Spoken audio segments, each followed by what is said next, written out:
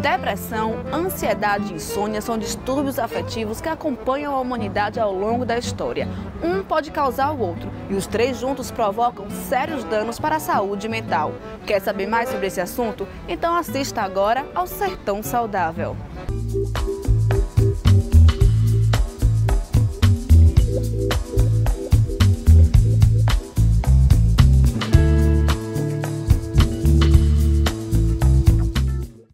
Que é ansiedade e como saber que ela é uma doença? A ansiedade ela é considerada uma experiência humana comum. Quem nunca sentiu um friozinho na barriga ou sentiu o coração bater mais rápido? Mas quando essa ansiedade começa a interferir nas atividades de vida diária desse indivíduo, a ansiedade é dita como patológica e é considerada então como uma doença. Quando falamos em ansiedade, na realidade, são distúrbios de ansiedade que dentro desses distúrbios inclui as doenças conhecidas como, por exemplo, o toque, o transtorno obsessivo compulsivo, as fobias, o estresse pós-traumático e a própria ansiedade dita generalizada. Essa ansiedade generalizada é quando os sintomas da ansiedade perduram por mais de seis meses, por exemplo. Dentre esses sintomas, podemos incluir o nervosismo, os tremores, aumenta algumas funções fisiológicas normais, como peristaltismo do intestino, podendo desencadear, por exemplo, distúrbios intestinais, dentre outros fatores. Quais o tratamento para a ansiedade? Tratar a ansiedade existe várias formas. As formas medicamentosas e aquelas formas não medicamentosas. Geralmente a ansiedade ela é reflexo de algo desconhecido, em que algo está para acontecer e gera esse sentimento de angústia dentro do indivíduo.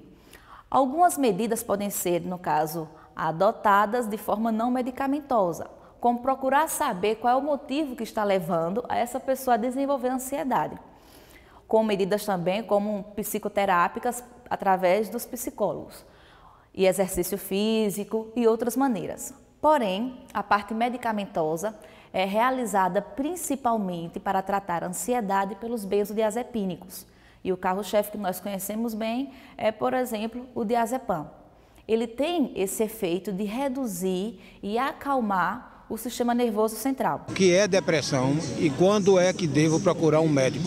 A depressão entre outras classificações, ela pode ser dividida em depressão primária e depressão secundária. Como o próprio nome, o nome diz, secundária é decorrente algum transtorno físico ou outros fatores, até mesmo o uso de medicamentos. E o transtorno depressivo primário é dividido então entre depressão unipolar e depressão bipolar. A depressão unipolar é aquela que é caracterizada pela prevalência de um só distúrbio de humor. Por exemplo, a pessoa fica por um bom tempo depressiva, é, angustiada, com sentimentos de infelicidade, de baixa autoestima e perda de prazer para realizar as atividades do dia a dia.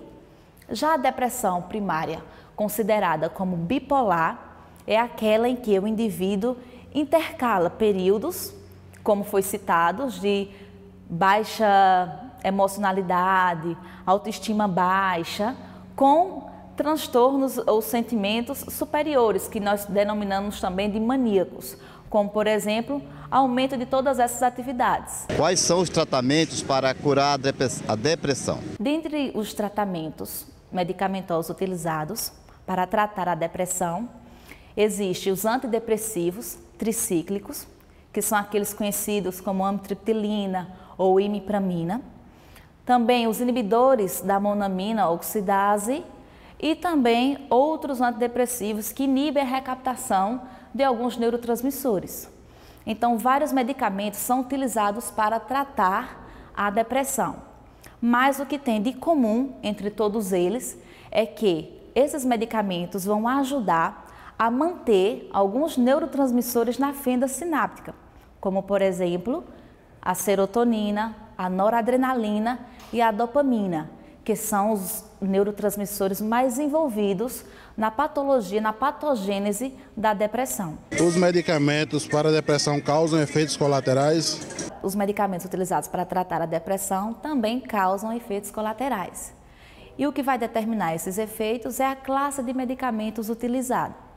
Por exemplo, dentre os efeitos colaterais temos a boca seca, a visão turva, retenção hídrica, perda de peso, sedação, hipotensão postural, dentre outros efeitos.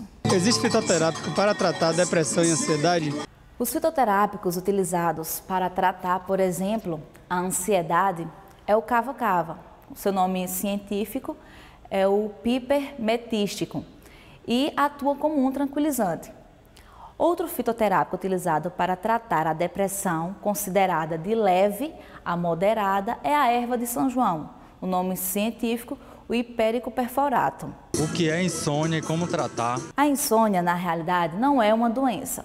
Ela é um sintoma que acompanha outras doenças. E a insônia ela pode ser primária ou pode ser secundária. Secundária a outros distúrbios, a uso de medicamentos ou outras patologias do sistema fisiológico, por, como por exemplo o sistema respiratório. E a insônia primária de causa desconhecida. Em relação ao tratamento da insônia, ela pode ser realizada tanto por medidas que vão melhorar a induzir o sono e manter também um sono melhor, como também medidas farmacológicas ou terapêuticas. Os principais medicamentos utilizados para tratar a insônia é o da família conhecida como Zolpidem, a Zaleplona, que são fármacos utilizados que ajudam a diminuir a latência do sono, ou seja, o indivíduo quando deita na cama, por exemplo, ele vai dormir mais rápido e melhora também a qualidade desse sono. É verdade que os chás acalmam?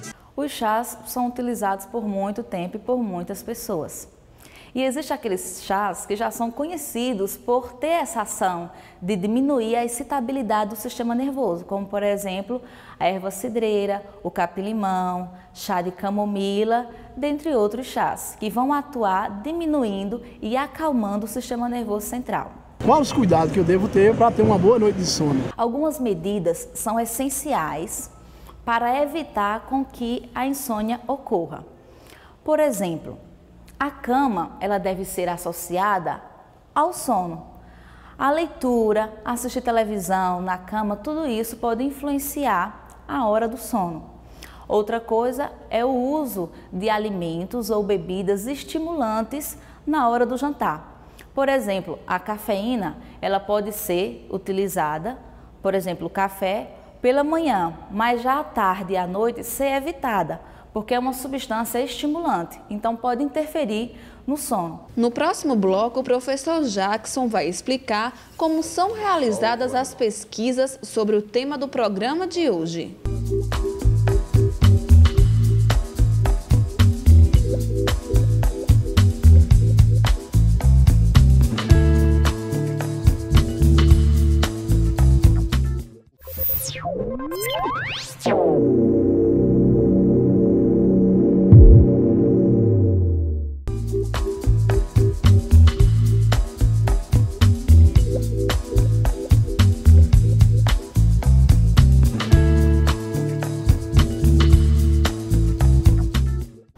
Vocês viram no primeiro bloco, a ansiedade e a depressão são doenças que estão muito presentes no nosso dia a dia. Então, as principais formas de tratamento são o tratamento medicamentoso e o tratamento não medicamentoso. Aqui na Universidade Federal do Vale do São Francisco, nós temos o Núcleo de Estudos e Pesquisas de Plantas Medicinais, o NEPLAME, que, entre outras linhas de pesquisas, se dedica ao estudo de plantas medicinais e produtos naturais com atividade sobre o sistema nervoso central.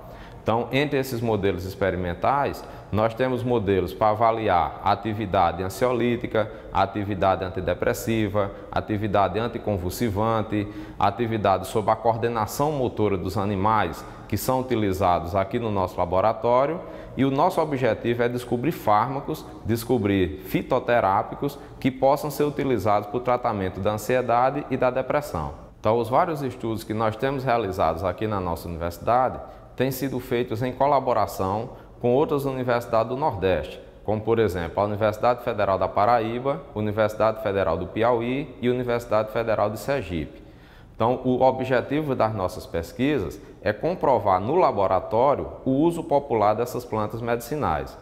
Então, partindo do critério que nós chamamos de etnofarmacológico, nós selecionamos essas plantas, trazemos para o laboratório para avaliar em modelos experimentais o efeito farmacológico e a toxicidade dessas plantas. Então, um dos exemplos de pesquisas que nós estamos realizando é com a planta conhecida como Araticum da Caatinga ou Pinha da Caatinga, cujo nome científico é Anona vepretorum, uma planta pertencente à família Anonácea. Então, o uso popular dessa planta é para dor, inflamação, picada de abelha e também como sedativo.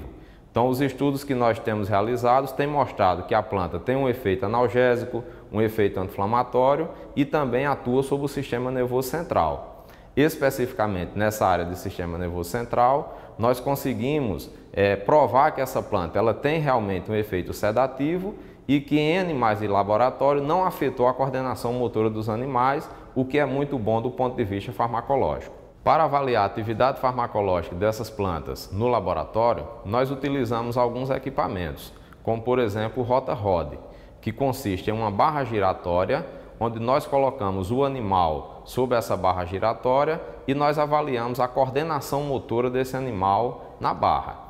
Então essa barra ela gira a uma rotação fixa, como por exemplo nove rotações por minuto, e a gente avalia o tempo em que esse animal se equilibra na barra giratória. Então, se ele recebe, por exemplo, uma droga depressora, uma droga que vai causar alguma alteração na coordenação motora, o tempo que ele permanece na barra giratória vai ser diminuído. Isso é muito comum quando se utiliza drogas que são depressoras do sistema nervoso central, como por exemplo os benzodiazepínicos. Então, outro equipamento que nós utilizamos aqui no laboratório é a placa perfurada, ou também conhecida como tábua de buracos. Então, esse equipamento consiste em uma placa perfurada que existem cinco furos e nós avaliamos a capacidade do, do animal de explorar esse ambiente. Então, se ele estiver sob o efeito de uma droga estimulante, ele vai aumentar essa capacidade de exploração.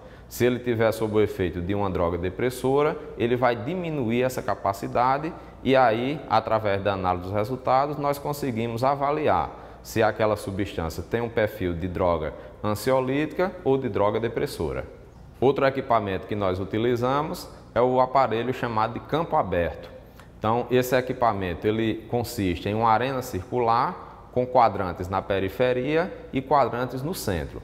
Então, nesse equipamento, nós avaliamos a capacidade exploratória do animal. Então, o comportamento normal do animal é que ele vai explorar mais os quadrantes da periferia. Então, se ele estiver sob o efeito de uma droga, por exemplo, ansiolítica, de uma droga estimulante, ele vai aumentar mais a exploração dos quadrantes no centro.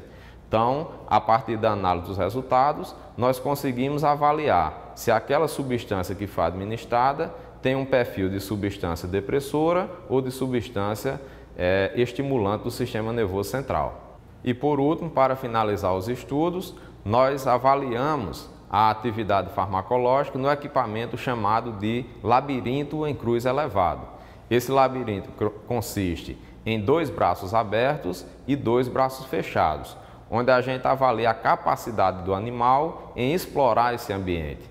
Então, o comportamento normal do animal é que ele explore mais os braços fechados, tendo um maior número de entrada nesses braços e que permaneça mais tempo no braço fechado. Então, se ele estiver sob o efeito de uma substância estimulante, ele tende a explorar muito mais os braços abertos e a passar mais tempo nos braços abertos. Então, a partir dessa análise, nós também temos a, a ideia de que aquela substância que foi administrada se tem também um efeito depressor ou um efeito estimulante.